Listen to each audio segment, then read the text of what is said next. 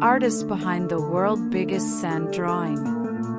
Dubai-based Filipino artist Nathaniel Alapide became a Guinness World Record holder for his world biggest sand drawings on Dubai Beach.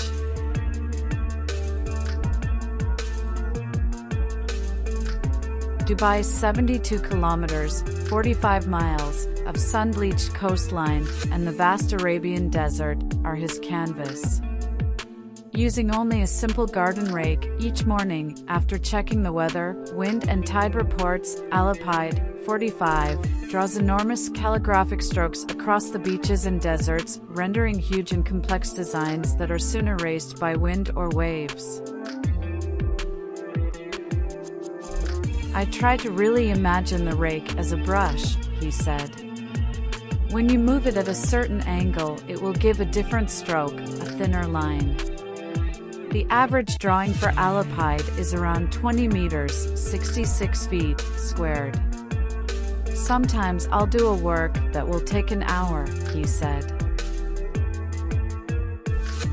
Or sometimes I work every day for hours to create.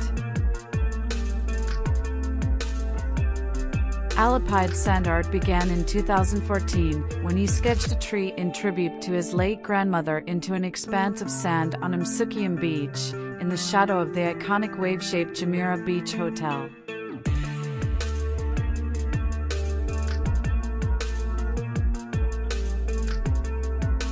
The scale of the drawing impressed the hotel, who offered him his first full-time job as a sand artist in 2015. Since then, he has decorated the UAE sands with around 1,900 drawings.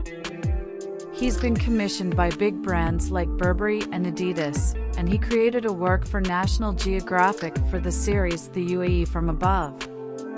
The UAE government even used Alapide's work to turn the beach into a public service announcement to notify the public of COVID restrictions.